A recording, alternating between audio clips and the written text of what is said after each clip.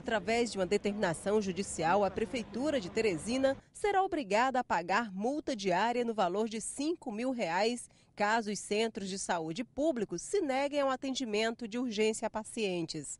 A medida é do juiz Anderson Brito Nogueira, da primeira vara da Fazenda Pública, que prevê ainda que a Prefeitura arque com atendimento na rede particular, caso isso não seja possível na rede pública.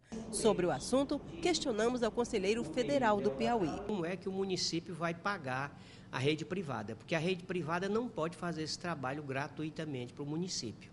Tá certo? Então o dinheiro vem para dar esse atendimento, é o dinheiro dado a, exatamente ao município. Se o município tiver estrutura para pagar e o dono da rede privada tiver o interesse em prestar esse serviço, é uma coisa que nós temos realmente para bater palma para o juiz. A Prefeitura terá prazo máximo de 10 dias de adaptação para cumprir a medida efetivamente. E em caso de descumprimento, a Justiça admite a possibilidade de bloqueio de contas do município.